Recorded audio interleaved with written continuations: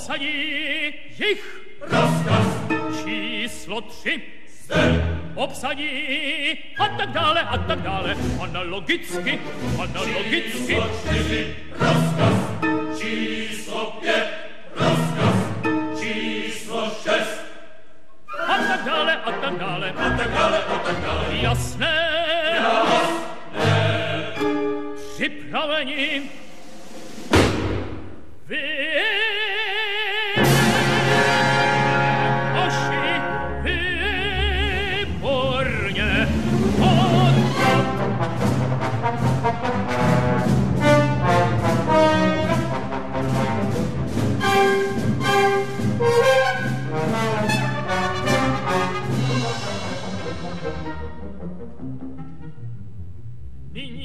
otto sebrat fakta atta uvest frogits piszecie zec a to tak aby žádný sen vymykal z příčinné souvislosti.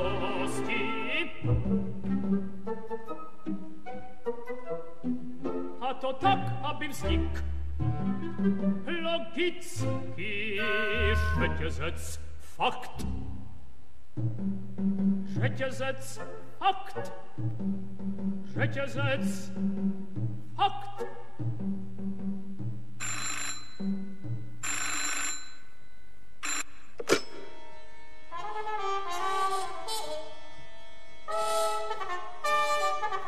Zoja. Kdo? Koho? Všecko zpět!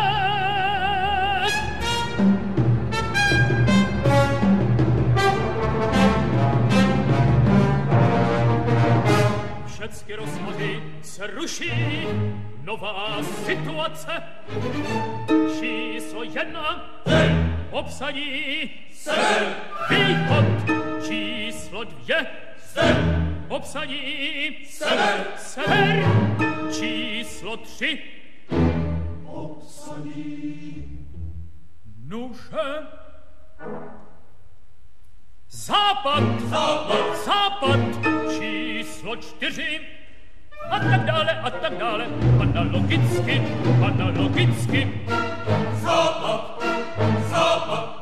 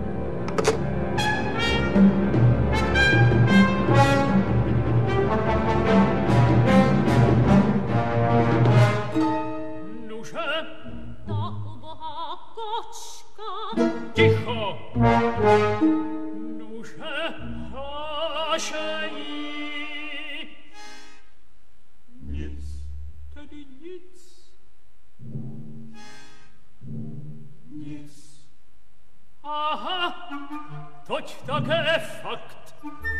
Mimożana rafinowanost, rafinowanost odhaluje trzeciego stupnia. Trzeciego, snad czwartego stupnia.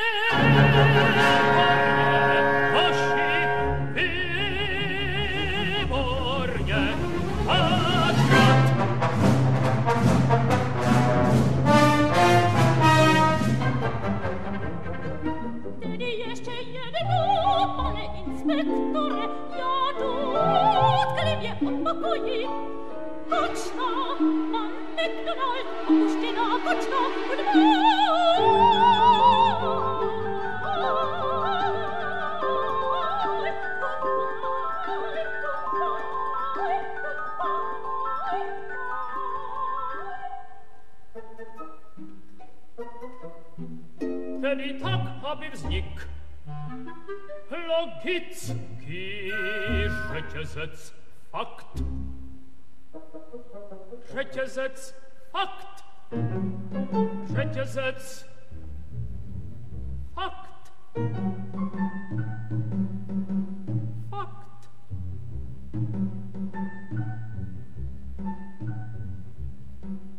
Fakt. Fakt.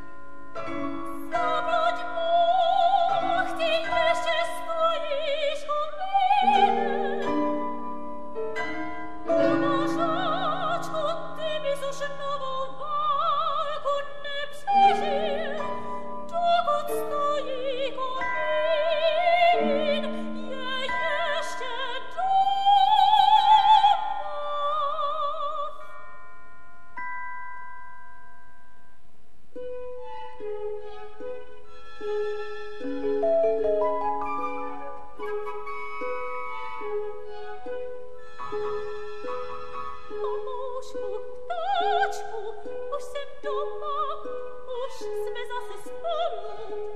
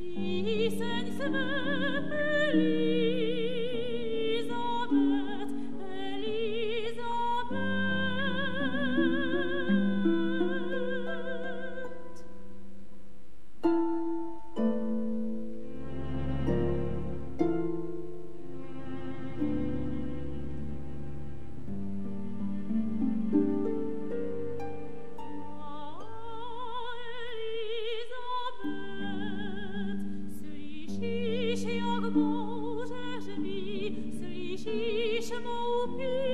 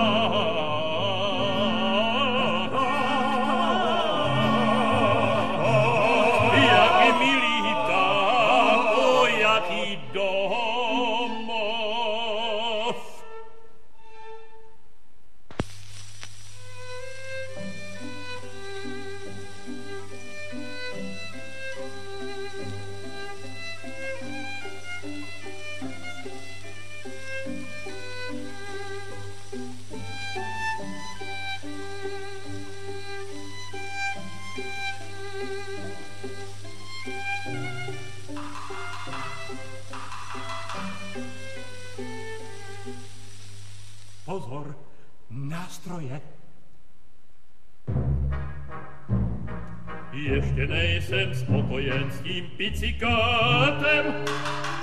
Dále Chtěla jsem se to zeptat, musí znít jemně. Asi pak. Už je to lepší. Tak, tak. chtěla jsem se jenom zeptat, jestli pánové nepotřebují kalafonu. O, balafonu, nebo třeba něco jiného. Já jdu totiž nakupovat. To, díky, některak s Bohem.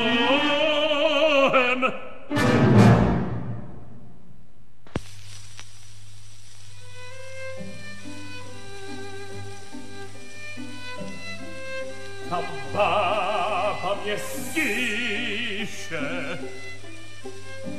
Vždyť je to dáma. K saku. Už je tu sas.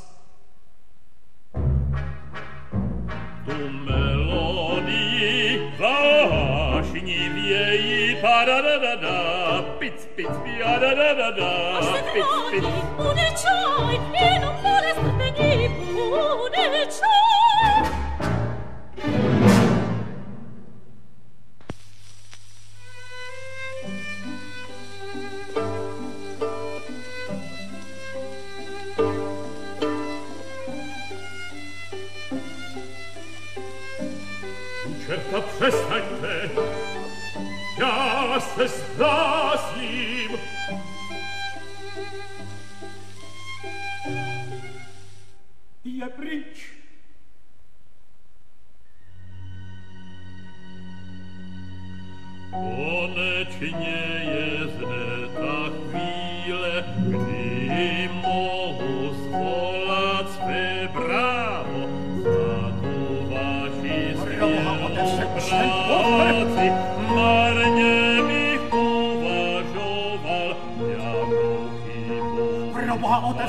ten kufry. Zbyt gnub,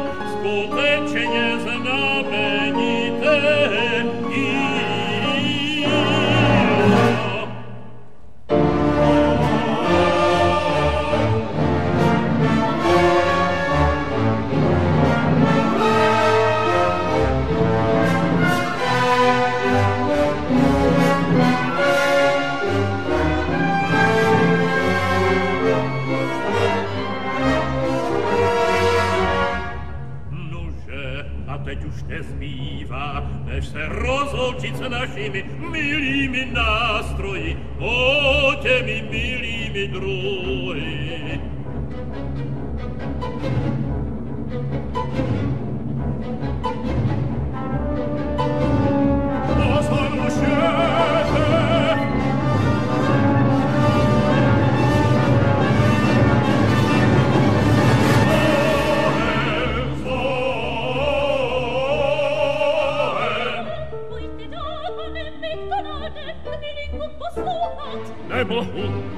нас. Слышите, войны нас нацепамо, в них чьи сердце.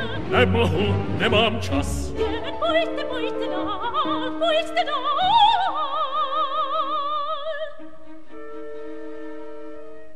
Секунда патом якома. Тише, за хвильку то зачне. Сотеть. Спусто.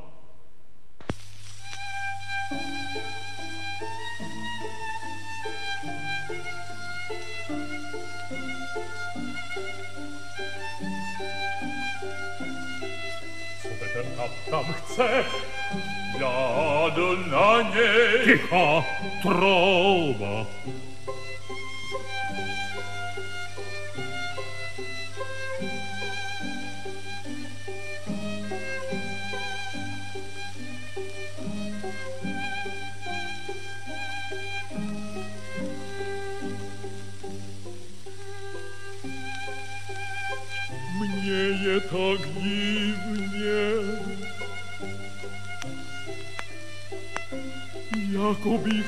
Bych po čem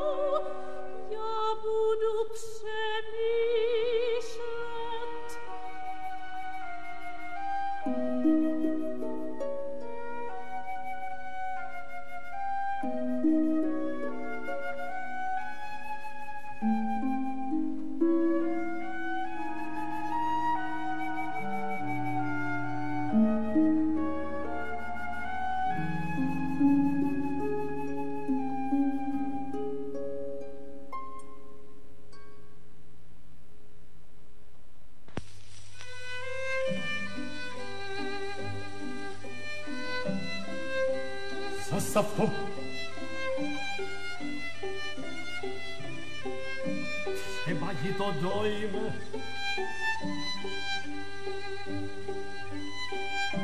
Ogo asas, ogo sastas, ogo jases, blasim!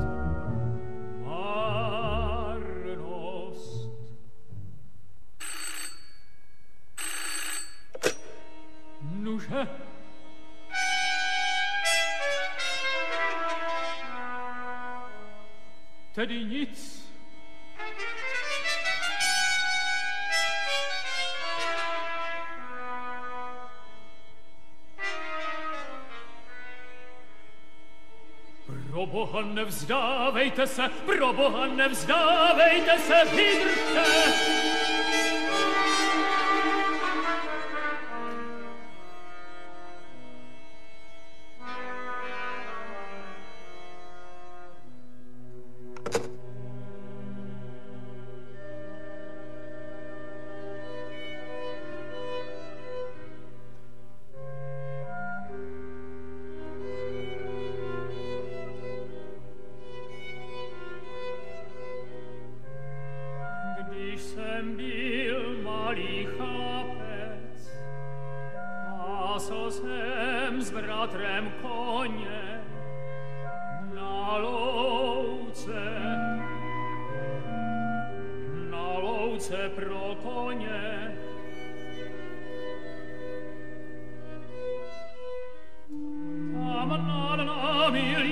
这里好。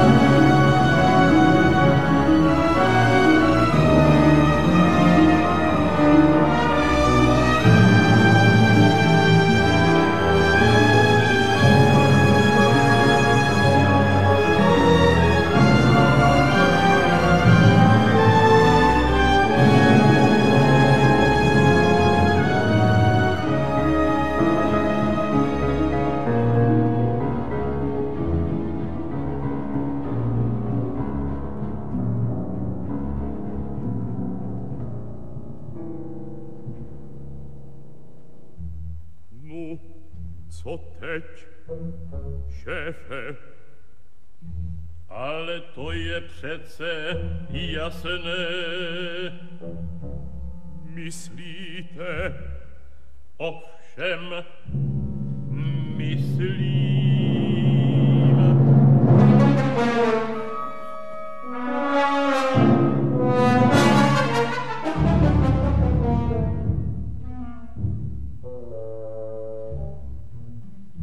A ah, kdo z nás to bude?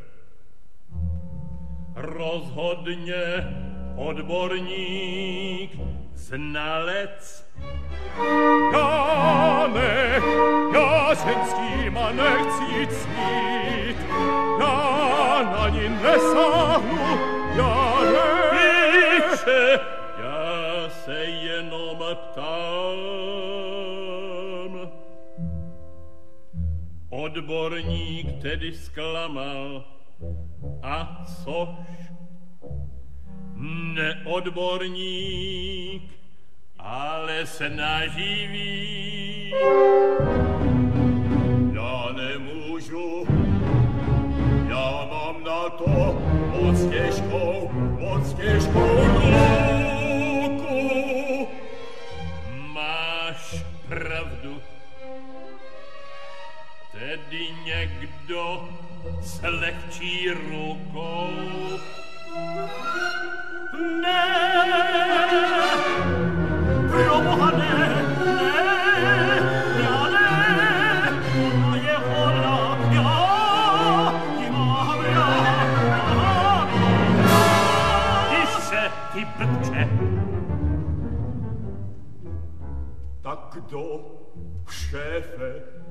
nech rozhodne fátum osud.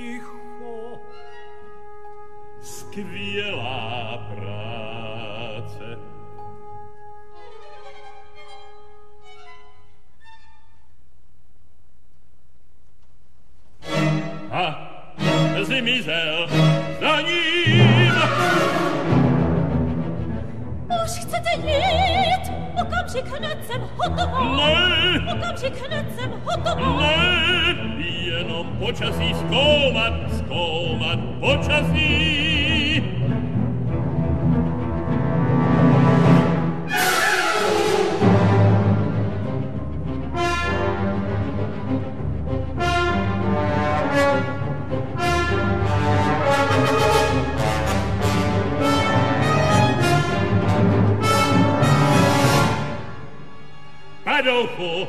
jedes Tisch im Locken,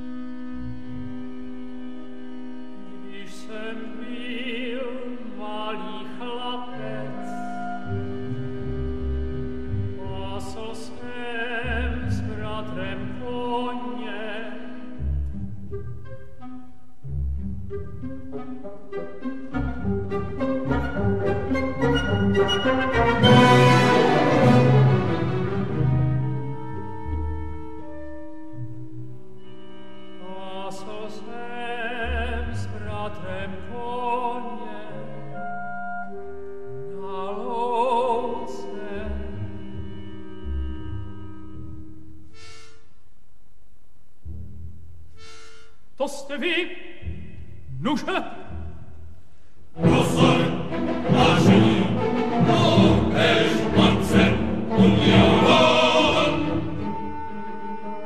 O, oh, to já vím, ale kdo, ale kdo to udělal? Neznámý bratr.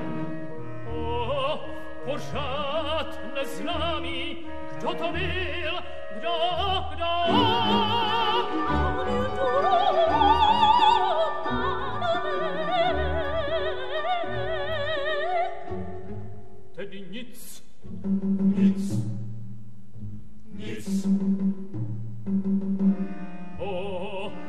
stracet nadziei, ne stracet nadziei. Moduju tu, panie inspektore, ja mu dobro następno. Sitka, Sitka, Sitka, Sitka,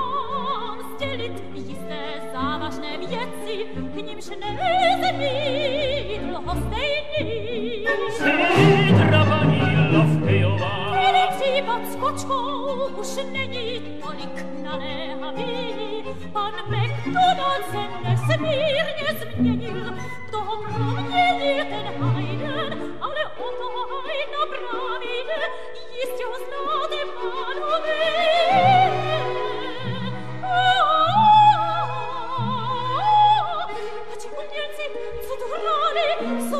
mieć Wiolonczelo i hose Wszystko precz A ja mam dać domu tolik penes Co z nimi? Powiadam Co z tymi penesy Co z nimi? Co z nimi Co z tymi penesy Co mam domu Co z nimi? Ech, te sije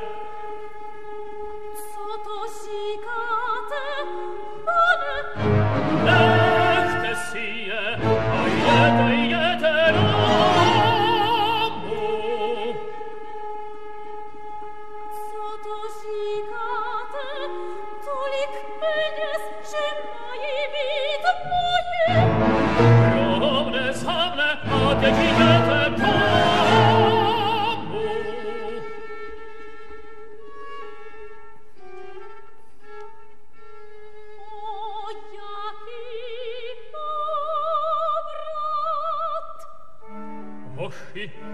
forse per te sili a novo nadziei pan inspektor je usot oshi sever te nowo nadziei a usot je zakon oshi musime patrat. A zakon je rostos i swoje napsy obsadí sever. Raz, raz. Číslo dvě. Sem. Obsadí jich. Raz, raz. Číslo tři. Sem. Obsadí a tak dále, a tak dále. Analogicky, analogicky. Číslo čtyři. Raz, raz. Číslo pět. Raz. Číslo šest.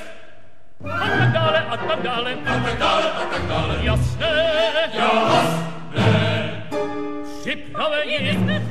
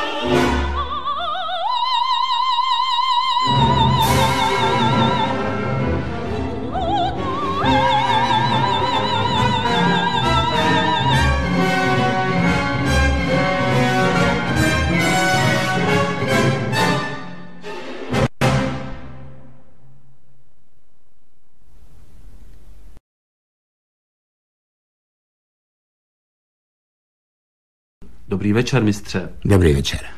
Já bych se vás chtěl zeptat jako první otázka, co vás nutí dnes komponovat opery? Já jsem k té formě dávno zhlížel, ale řekl jsem si, budíš, ale kde vzít téma? Protože na nějakou rytírnu jsem se necítil dost heroický, na pohádku dost lirický, na nějakou venkovskou veselohru dost rozšafný, ale pak jsem šel do kina a tam jsem svou hrdinku našel. Starou paní Lavdejovou, a to prostředí, to mě hned uhranulo, protože ona bydlela v domečku, líbezném domečku s povývajícími záclonkami. A kolem hřmělo děsivé nádraží. A tady jsem už zdával pozor, protože teď jsem měl cosi jako konfrontaci ráje srdce a labirintu světa. Tam jsem utkvěl v tom příběhu, který potom mě přitahoval mnohým dalším. Například tím, že jsem tady mohl dát opeře všecko, což její jest. To je árie, zbory, dokonce balet, všechno, i ty dmoucí se hrudi.